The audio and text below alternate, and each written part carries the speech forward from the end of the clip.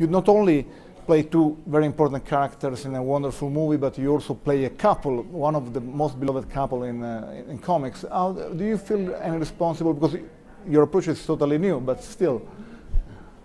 But do we feel responsible? Uh, if, yes, if towards so many, the, the expectations of you. Oh, um, I mean, uh, yes, it is there. With all of the responsibility which is heaped on my shoulders, I speak for myself here in this movie. I, I'm very aware of it, but I don't dwell on it because if I were to dwell, I think it would probably drive me completely insane.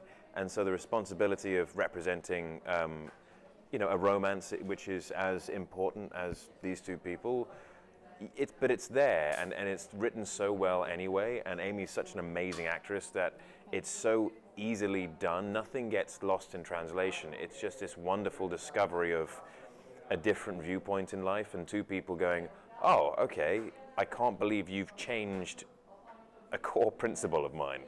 Um, and it's beautiful as opposed to a responsibility as far as yeah. I'm concerned. Yeah, I mean, it is, you do think about it because um, these are very beloved characters in a relationship that uh, has been around for a long time. And um, one of the things that sort of took some of the pressure off of my shoulders in, in that is that in our film, I felt there were so many other relationships being explored, like very deep relationships, that I felt that um, Lois and Clark's was just one of many that were being explored. His familial relationships and the relationships with the father were such a strong theme that really I just I felt that I could, like I said, just look in Henry's eyes and, and play these characters out through these scenes and, and that it would come across and right. yeah. Uh, what I love the, of this, this, movie is the fact that it's a, a, personal story.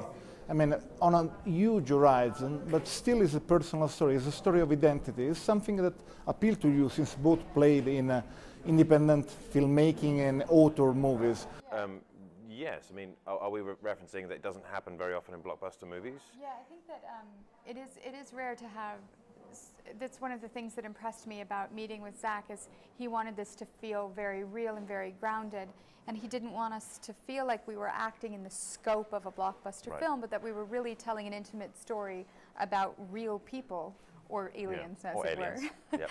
but um, I was very impressed with, with Zack's um, very detailed conversations about the characters' emotions. Yeah, it's, it's the one thing which makes this genuinely different. It, it's a story first, um, a soulful, heartfelt story first, and then you happen to have this superhuman being um, as well, and it, it makes it special.